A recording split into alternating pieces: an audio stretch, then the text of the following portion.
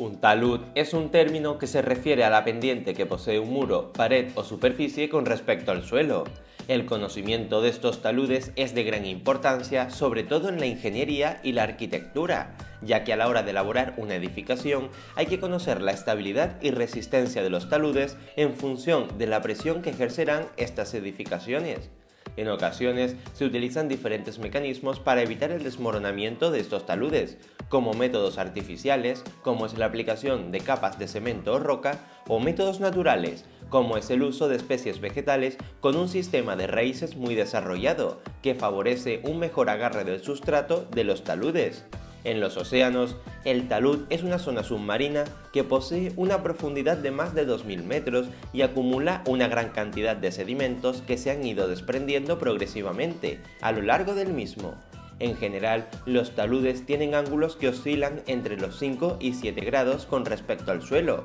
aunque los más destacables llegan a alcanzar los 50 grados.